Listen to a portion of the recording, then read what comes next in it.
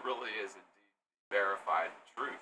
Um, I mean, I could go on for hours as to how this has been proved, but until you yourself, um, as an individual, decide to skeptically scrutinize the you know heliocentric globe Earth model that uh, you're very comfortable with and you've been taught your whole life and understand to be true and correct, and there are lots of um, images in your mind that reinforce this.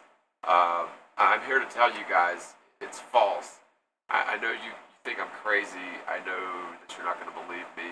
I know you think that uh, when you hear flat Earth, uh, you'll have visions of ships falling off the edge, and you'll have, uh, uh you know, you'll have visions of people from 500 years ago who didn't know anything about science. Um, on a quick note on that topic, uh, Sir Isaac Newton, the godfather of physics and the Newtonian uh, universe that we live in, prior to Einstein, of course, Newton thought the, th the sun was stationary, which we would all think is laughable these days. He was also totally unaware of electromagnetism, which we would uh, think he was some kind of idiot these days because even a child is played with a magnet or it's shocked by an electric outlet. Uh, furthermore, even Newton himself uh, professed that his theorem were hypothetical and he also stated, essentially paraphrasing here, that the idea of gravity and a spinning globe Earth were essentially preposterous and were only one hypothesis to ex explain the observations of physicists. And uh, the whole thing's coming apart, guys. The proof is there. It's been debunked. We don't live on a globe. Um, you know, you can do the research or not. You dismiss me, but I'm, I'm here to tell you this is the truth. Um, it is a flat, stationary world. Um, we've all been lied to. Um, I tend to think that we live just in a small area on the infinite plane, so there's much, much more land out there. Uh, the Antarctic area, if that is what it is, but the outer barrier of our area, which is probably caused by the electromagnetic field generated at the North Pole, coming up and around in all directions and ending at the South Pole on all edges, which would essentially cause a magnetic barrier or force field, which would be dome-like in shape. It would be necessarily that shape.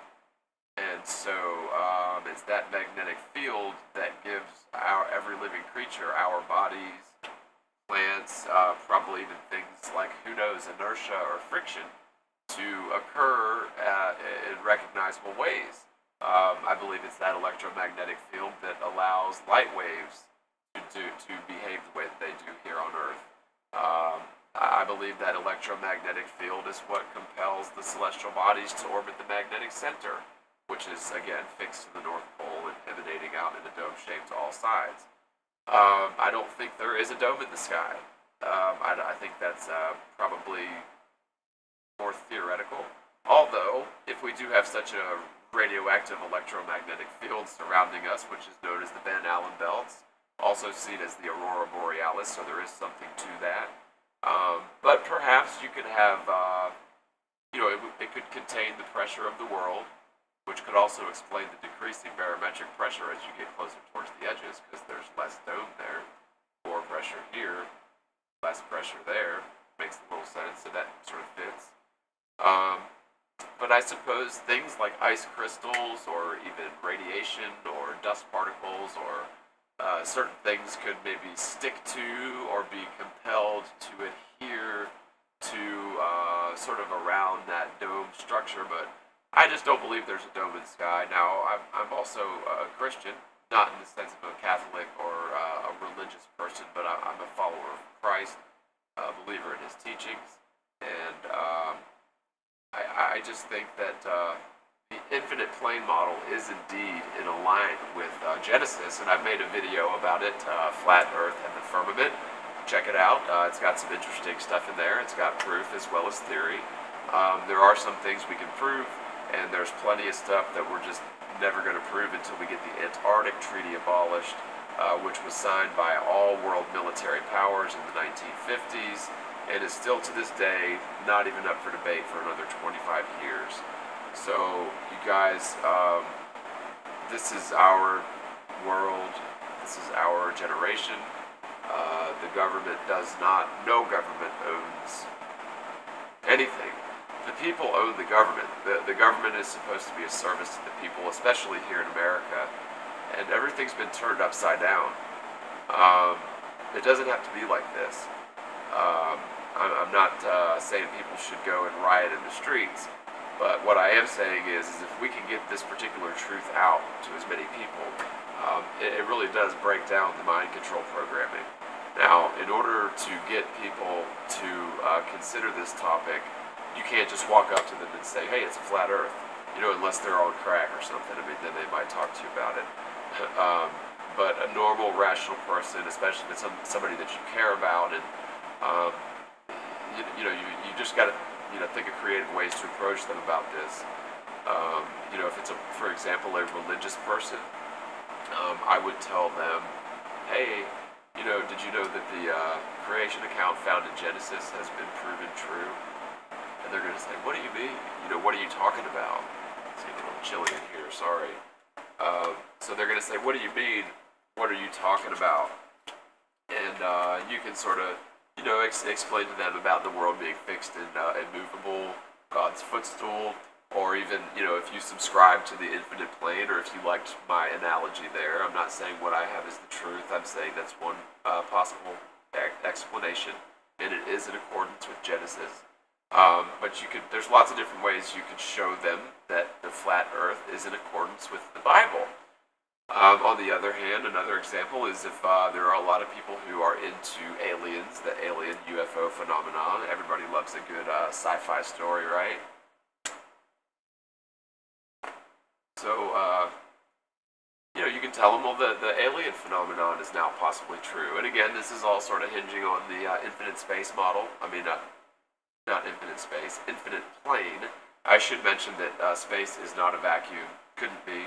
We have an atmosphere which is sort of held in place by that uh, magnetic barrier, I believe. Um, but uh, infinite space, no such thing. Infinite land, quite possible. It could end right outside the edges of our world, but I just don't see that happening. I don't see the motivation for the lie if uh, it is an enclosed system, because the entire purpose for the lie is to trick us into believing that we live on an enclosed system. So, mm, as far as I'm concerned, it's I would bet all my money if I had a chance to bet that it's an infinite plane. There's no question in my mind. Um, but that one percent chance of doubt because I've just simply never been beyond that point. Um, at any rate, I hope this helps you guys sort of get to get to know me a little better. Maybe I'll do a couple more of these types of not so rigid, uh, you know, videos. But uh, you know, I enjoy talking to you, and if you guys uh, like to uh, re- reply and comment, it does take me some time. I get lots of comments, and I try to reply to everybody. But it just seems like um, for every one or two um, rational person with an honest question I get, there seems to be 10 or 20 shills who just nonstop, uh, every day, 24 hours a day, post nonsensical, semantical arguments, name calling, um, just basically rude, uh, trying to steer this discussion away uh, from the mainstream or trying to steer people away from this discussion. Um, this is the truth, guys. You know, I know you think I'm crazy at first, but if, if you can actually break the programming and um, look at the evidence, there's a ton of it. Um, I've showed a lot of it in my videos. There's a lot of other sources. You don't just have to listen to me, and you don't have to listen to anyone. Do your own research. Um, I strongly suggest you read Zetetic Astronomy. Uh, I don't know if I mentioned, but I've, I've recorded the whole thing in audiobook format. So you can watch that or listen to that in its entirety on my uh, YouTube channel. I've got it as a playlist. I have to do everything in 15 minute chunks though, so sorry. But uh, at any rate, it's been real. It's been fun. Uh, thank you guys for checking out my channel. Uh, subscribe, uh, support me however you can. Click on the buttons, uh, click on the ads. Um, it would help me to to monetize this and maybe be able to do more videos. I've got and responsibilities and a job and a family like everyone else. I love making videos. I love you guys in the community. Um, I, I feel like you guys have been very supportive and have been the whole reason that I've, I've continued making videos. Um, I'm not in this for the money. Um, I haven't really made any money doing this. Really nothing to speak of. I, I can tell you what I've earned on my YouTube videos since monetizing, and you laugh. Um, it's it's next to nothing. Okay, and, I, and I'm not lying. Anyway, not to rant on. Love you guys. Thanks a bunch. Uh, don't forget to subscribe, tell a friend, spread the word, spread the world, and peace.